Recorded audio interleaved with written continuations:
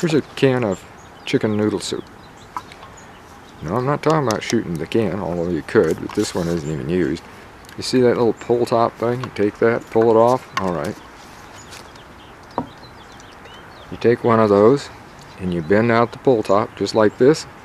You got yourself a knockover target. And here's another thing you can do. You know, most of them, this has got a little bit of a, a little strange, almost a D type of a dimple in it. This one has a dimple too. You can see they, they look like targets. Well, take like a felt tip marker or something like that, or you can use paint if you want, and get yourself a bullseye on here so that you got that to shoot at. And you can see they set up real nice. I've got a few of them here. And uh, here with a regular can now, you can do similar. You just don't cut it all the way off. Leave about a quarter of an inch right here.